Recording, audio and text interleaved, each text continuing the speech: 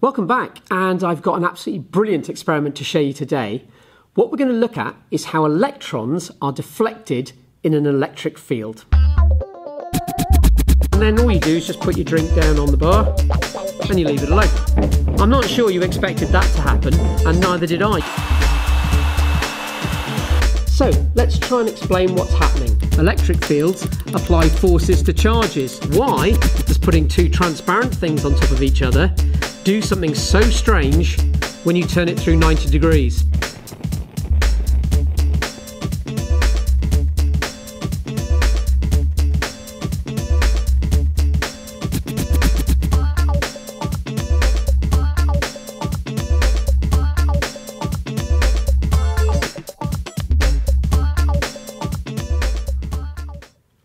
You might notice that Laika the space dog's not with us again today. She's off on another one of her world travelling missions, and more of that at the end. So let's have a look at the apparatus we've got here. Now it looks a bit complicated, so what I'm going to do, and hope I don't drop it, is take the important bit out of the stand. And this is the bit we're going to be looking at. So this is an evacuated glass tube, there's a vacuum in it. In this end, there's an electron gun that's going to accelerate electrons across the tube. And you might have seen my video on the electron gun. And if not, perhaps have a look at that so you can understand how the electron gun works. And what we're going to do is we're going to wire this up, get a beam of electrons going across the tube. They'll hit this fluorescent screen that's sort of in the way and produce a line of light showing where they're hitting it. And then we're going to see what happens when we put an electric field inside the vacuum of this tube. Let's see what happens to the direction the electron beam takes. So I put the tube back in the stand um, and we're ready to get started. But um, this is going to be quite a complicated video. But don't worry, uh, don't give up when you get to a complicated bit. Um, there's lots of bits of information you can take from this. So even if you don't get the more difficult bits of physics, I'm sure you'll understand the slightly simpler bits and it might be new to you, so it's definitely worthwhile. So let's get this working. So I'm going to do this quite quickly. Um, to get an electron gun working, you might remember we have a hot filament at this end. And if it's a hot filament, um, you'll see it glowing um, when the tube's working. And I'm going to plug that in. Um, I'll use this lower power supply to 6.3 volts AC. The only purpose of that is to pass current through the wires and get that filament really, really hot. If you remember, electrons will boil off that filament and if I get those electrons and put them near a very positive anode, so I'm going to put a positive wire here and connect that up to uh, the positive of the power supply, they will be accelerated across this gap.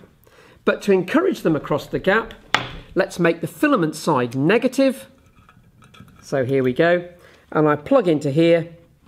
And when I turn on the power supply, we'll see the electron beam. Just before we get started, there's one thing I'd like to do. I'm just going to disconnect the accelerating voltage and turn on the filament. And you might see a glowing here in the tube. Um, that's where the filament is. Um, it might be a bit too light in here, but when you do this at school, you often see a stripe across this screen. And it's really important your teachers point out to you that this is not an electron beam. This is just light from the filament. Uh, they can prove it to you by bringing in a magnet, and if they bring a magnet anywhere near that, um, it doesn't deflect. That's just a light ray. So what we need to do now is to see the electron beam. Right, so we're ready for action. So let's connect the anode back up and the uh, cathode or the uh, minus to the filament. Let's uh, turn on just the filament current.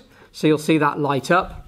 And now for the fun bit, let's take those electrons and accelerate them through 5000 volts. And there you go. You see this lovely blue stripe across the screen. So that's electrons hitting a fluorescent screen, and as they hit it, they lose kinetic energy and they give out photons of light.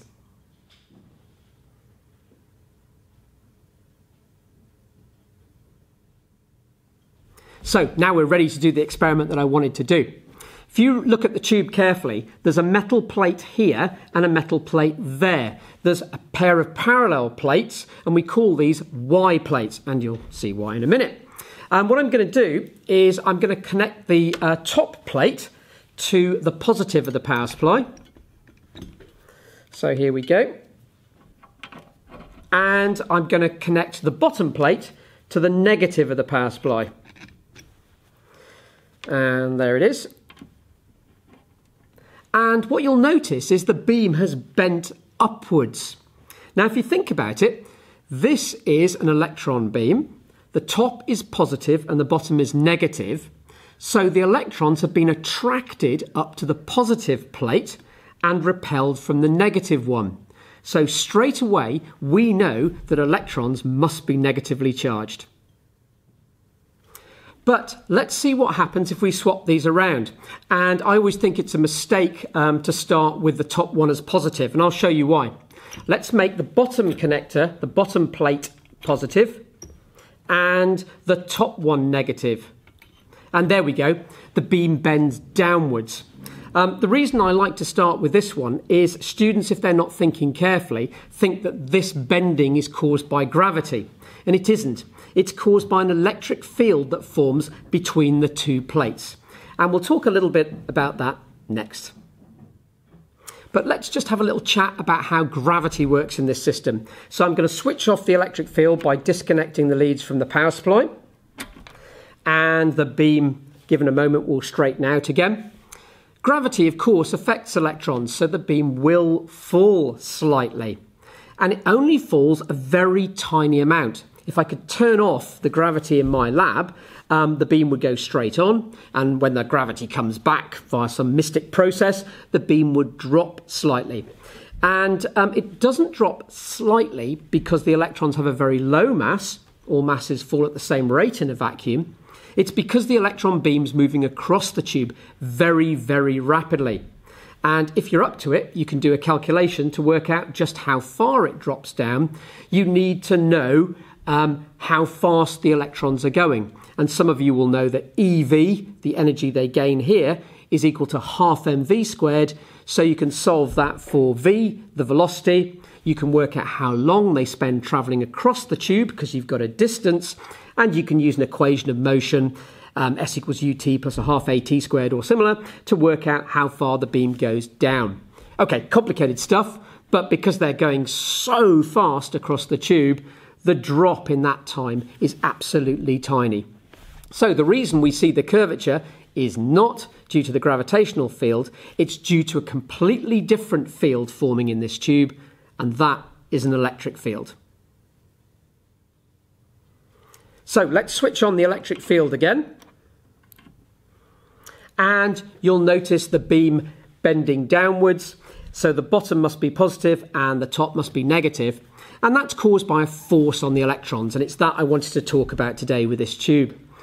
The electrons feel a force because between the two plates is an electric field.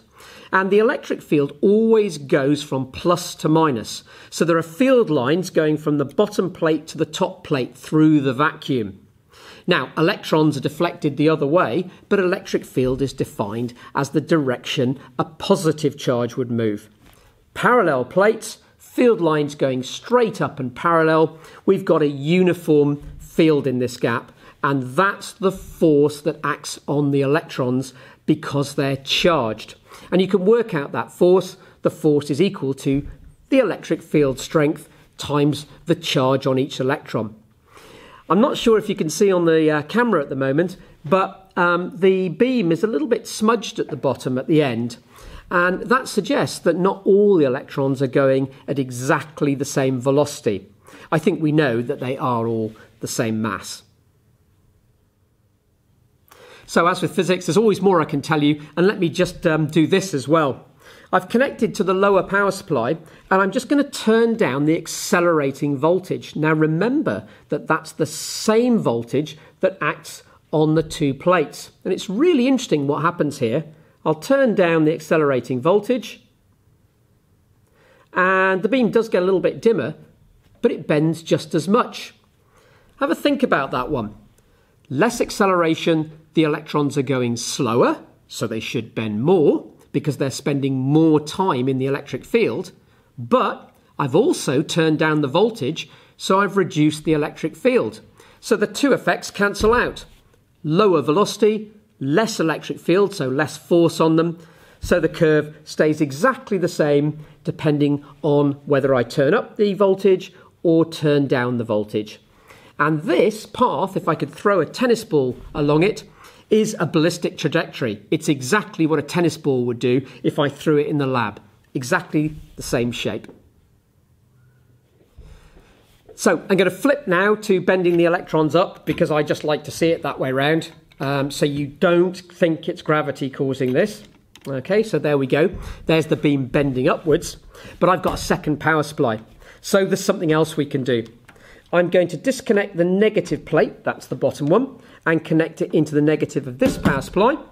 And I'm going to disconnect the positive plate, that's the one at the top, and connect it into the upper power supply.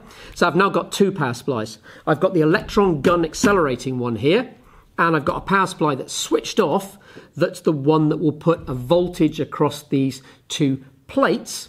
And what I'm going to do now is increase the voltage across the plates, increase the electric field strength, and see what happens.